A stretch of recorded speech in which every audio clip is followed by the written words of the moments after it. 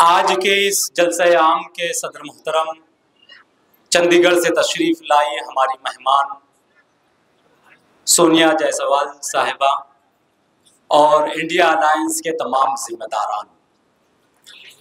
और इस मोहल्ले में जहाँ तक मेरी आवाज़ पहुँच रही है, ऐसी तमाम मेरी पर्दानशीन माए बहनें, झूठों ने झूठों से कहा है, सच बोलो। सरकारी ऐलान हुआ है, सच बोलो।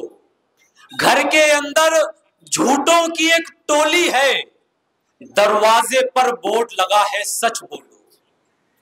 दोस्तों, आज हमारे अपने शहर में मुखालफिन जमातें बड़े बड़े स्टेज लगाकर जो कुछ कह रही हैं, ये सब झूठ बोल रहे हैं। जो लोग ये नारा दे रहे हैं कि हमने मालेगांव में तामीराती काम किए। जो लोग ये दावा कर रहे हैं कि हम विकास की सियासत करेंगे, विकास की राजनीति करेंगे। जो लोग ये कह रहे हैं कि अच्छाई और बुराई की जंग है, ये सब झूठ बोल रहे हैं। अगर इन लोगों ने मालेगांव का विकास किया, अगर इन लोगों ने मालेगांव की तामीर और तरक्की की तो आप इन लोगों से सवाल कीजिए। सूफी साहब हमारे दरमियान तशरीफ़ लाए हम आपका इस्तकबाल करते हैं। तो आप इनसे सवाल कीजिए क्या अगर इन्होंने मालेगांव की तामीर और तरक्की की तो फिर 2011 से 2024 तक 2,900 करोड़ रुपए के घोटाले का जिम्मेदार कौन है? अगर लोग ये कह रहे हैं कि हमने मालेगांव का विकास किया। तो इनसे सवाल कीजिए कि मालेगांव से कई लाख रुपए के 20 गार्डन कहाँ गायब हो गए?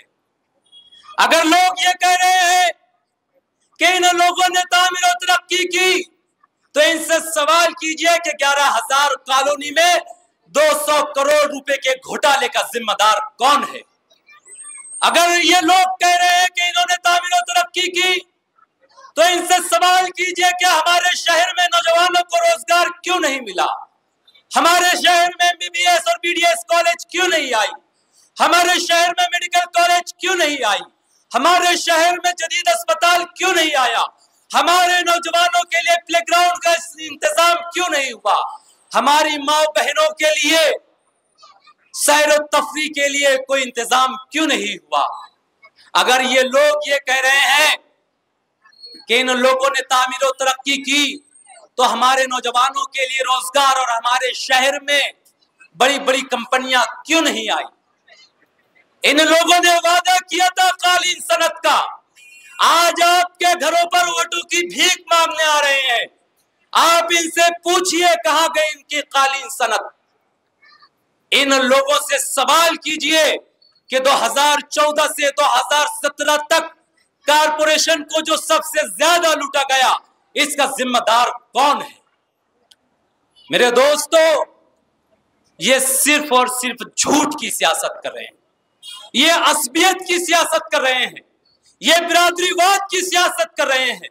ये बंदूक की सियासत कर रहे हैं। ये डराने और धमकाने की सियासत कर रहे हैं। ये दादागिरी की सियासत कर रहे हैं।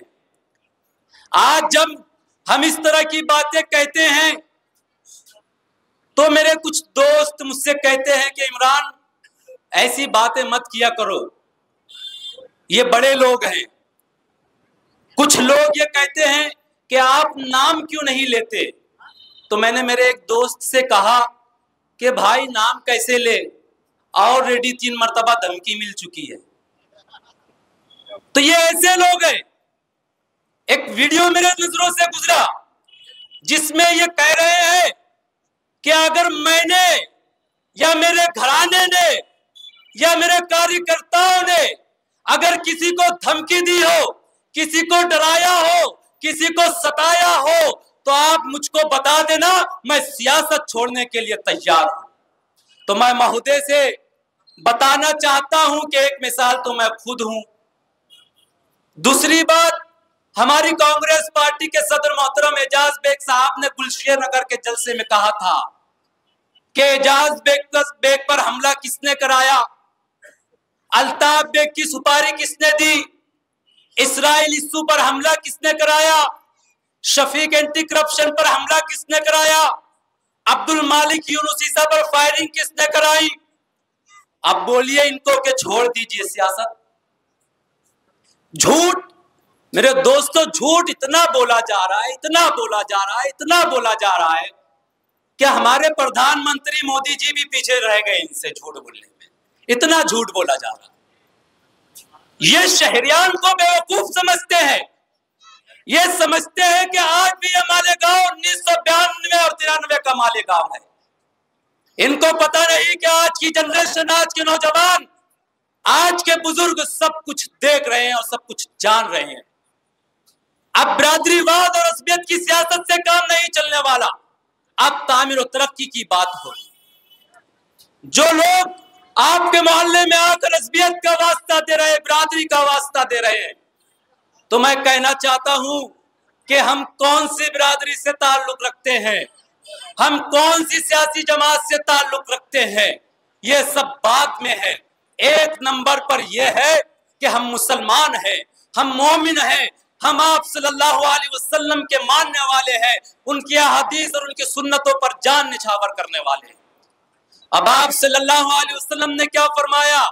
सुनिए मेरी इस बात को। आप सल्लल्लाहु अलैहि वसल्लम ने फरमाया कि जो असबियत की दावत दे, वो हम में से नहीं। जो असबियत की बुनियाद पर कताल करे वो हम में से नहीं। और जो असबियत पर मर गया, वो भी हम में से नहीं। अब फैसला आपको करना है कि आपको वोट असबियत और बिरादरी की बुनियाद पर देनी है या तामिर तरक्की की बुनियाद पर। मेरे दोस्तों, आने वाला मुस्तकबिल बहुत खतरनाक है। अगर हम बहकावे में आ गए इन लोगों के और हमने गलत फैसला ले लिया तो हमारे शहर का मुस्तकबिल, हमारे बच्चों का मुस्तकबिल, हमारे नौजवानों का मुस्तकबिल, हमारी माओ बहनों का मुस्तकबिल बहुत खतरनाक होने वाला है। पछताएँगे और पछताने के सिवा कोई चारा नहीं होगा। आज आपके सामने एक ईमानदार कैंडिडेट खड़ा हुआ है। तामीरी जहन रखने वाला नामजद उम्मीदवार खड़ा हुआ है, जिसे हम एजाज बेग के नाम से जानते हैं। जो काम एजाज बेग साहब ने एक कारपोरेटर रहते हुए किया है, आजी माजी ने भी नहीं की यही स्कूल नंबर एक में बुनकर भवन का काम जारी है। ये बुनकरों से हमदर्दी का दम भरते हैं। पूछिए इनसे क्या किया इन्होंने बुनकरों के लिए। सिर्फ़ बयानबाजी की है, सिर्फ़ तकरीरें की है, सिर्फ़ झूठा दिलासा दिया है। बुनकरों के लिए अगर कोई काम कर रहा है तो बुनकर भवन का काम जारी हो चुका है। आप जाकर देखिए, एजाज बेग साहब कर रहे हैं। ये मुस्लिम कयादत कदम बढ़ते हैं ना। इनसे पूछिए, मौलाना आज़ाद रोड सालों से खस्ता हाली का शिकार थी। पैदल रास्ता चलना दुश्वार था। क्यों नहीं इन्होंने मौलाना आज़ाद रोड की तामीर कराई? अगर किसी ने मौलाना आज़ाद रोड की तामीर कराई है तो तीन करोड़ के फंड से एजाज बेग साहब ने तामीर करवाई। ये मुस्लिम कयादत और तामीर तरक्की कदम बढ़ते हैं। इनकी तामीर तरक्की कहीं नज़र नहीं आती है। इन्होंने अगर कुछ बनाया भी है तो उसमें करोड़ों रुपए का घोटाला किया है। और ईडी और सीबीआई से बचने के लिए अजीत दादा पवार और फडनवीस का दामन थामे हुए हैं। वरना ये कब का जेल की सलाखों में होते एजाज बेग साहब ने लाइब्रेरी बनाई, लेडीज़ जिम खाना बनवाया खान का शरफिया गेट की तामीर करवाई, वहाँ बुज़ुर्गों के लिए बेहतरीन तजन कारी की। कौन कर रहा है इतना सब काम? कोई नहीं कर रहा है। आप उनका वार्ड जाकर देखिए? अगर आप, हम किसी घराने का अंदाज़ा लगाते हैं तो वहाँ के किसी नौजवान से, किसी एक फर्द से हम अंदाज़ा लगा लेते हैं कि ये घर कैसा है, ये खानदान कैसा है। इसी तरह आपको अगर अंदाज़ा लगाना है कि कौन सा उम्मीदवार हमारे शहर के लिए फ़ायदा मंद है तो आप उसके वार्ड में जाकर देखिए।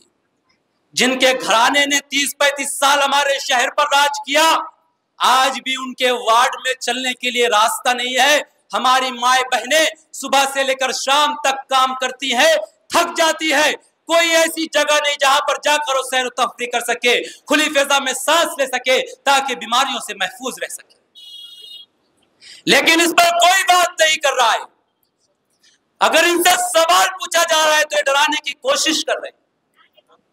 आज जो माहौल बन चुका है हमारे शहर का, कोई सामने आकर बात करने के लिए, बोलने के लिए तैयार नहीं है दोस्तों। और सही बात भी है, हर कोई हमारे तुम्हारे जैसी हिम्मत नहीं करेगा। हर कोई ये नहीं कहेगा कि राह में खतरे भी है, लेकिन ठहरता कौन है? मौत कल आनी है, आज आ जाए, डरता कौन है? तेरे लश्कर के मुकाबिल मैं अकेला हूँ, मगर फैसला मैदा में हो जाएगा, मरता कौन है? दोस्तों, हमें किसी से डरने और घबराने की बात नहीं है। मोमिन हक बात कहने से कतराता नहीं है। ये तो हमारे ईमान का तकाजा है। वरना हमने कब्रिस्तान में उन लोगों की भी कब्रें देखी, जो इस खौफ से खामोश थे।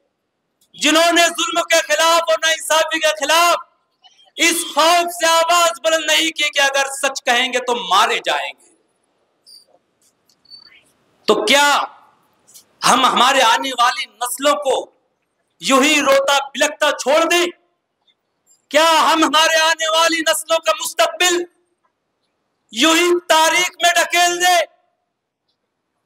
आज इन लोगों ने हमारे शहर का तालीमी निज़ाम दरहम बरहम कर रखा है। बहत्तर स्कूलों को, प्राइमरी स्कूलों को इन लोगों ने तुड़वा दिया है और कहीं प्राइवेट कॉम्प्लेक्स, कहीं पर इलीगल शॉपिंग डाले कहीं पर शादी हॉल, इस तरह की तामीरात करवा के वहाँ से आने वाले पैसों से अपना घर भर रहे ये तामीर तरक्की की बात करेंगे। ये सिर्फ़ झूठे वादे कर रहे हैं। अब इनका कोई बस नहीं चल रहा है। तो ये दादागिरी पर उतर आए। वक्त कम है। कहना तो बहुत कुछ था। कहना तो बहुत कुछ चाहता हूँ। लेकिन एक बात ही काफ़ी है, अगर आपके दिलों में उतर जाए तो। दोस्तों, महाराष्ट्र में कांग्रेस पार्टी और इंडिया अलायंस की सरकार बनने वाली है। अगर हमारे शहर का नुमाइंदा कामयाब होता है, आपकी दुआओं से, आपकी वोटों से तो यकीन जानिए यकीन जानिए, मैं आपको यकीन दिलाता हूँ इंशाला हमारे शहर का मुस्तकबिल बहुत ताबनाक होगा। अगर आपने अपनी वोटों का गलत इस्तेमाल कर लिया, किसी और बुनियाद पर और किसी और उम्मीदवार को भेज दिया तो वहाँ पर इनकी सुनी भी नहीं जाएगी, ये क्या हमारे शहर की नुमाइंदगी करेंगे? फिर पाँच साल होने के बाद ये यही कहेंगे कि वहाँ तो हमें मौका ही नहीं मिला तो हम कहाँ से शहर की नुमाइंदगी कर सकते थे? वक्फ बोर्ड की जो इमलाक है उसकी हिफाजत के लिए, मुस्लिम प्रस्तल्ला की हिफाजत के लिए, हमारी, हमारे, हमारी माँ बहनों के तहफ़ के लिए, हमारी शरीयत के तहफ़ के लिए। अगर आपको अच्छा फैसला लेना है तो इस वक्त कांग्रेस पार्टी आपके सामने आज जो अपना कलर हरा करके आपके दरमियान आए हैं और जो मुस्लिम उम्मीदवारी का दम भर रहे हैं, इनसे पूछिए कि कुछ साल पहले ये दो बीस लाख या चालीस लाख के कर्जदार थे, आज हज़ारों करोड़ रुपए कहाँ से आया? इनसे पूछिए कि ये जीतने के बाद कहा किसकी गोद में जाने वाले हैं। आपकी ओटे अगर आपने गलत इस्तेमाल किया तो बीजेपी के दामन में जाने वाले हैं। दोस्तों, ये मौका सच्चों की हिमायत का मौका है। मैं अपनी बात खत्म करना चाहूँगा। शुरू में मैंने एक आयत पढ़ी थी। अल्लाह फरमाता है यादीना क्या ईमान वालों, अल्लाह से डरो और सच्चों के साथ हो जाओ। तो इससे उससे डरने की कोई ज़रूरत नहीं है और सच्चों के साथ होने का मौका आ गया है। कि मैंने माना मेरी आवाज़ नहीं जाएगी।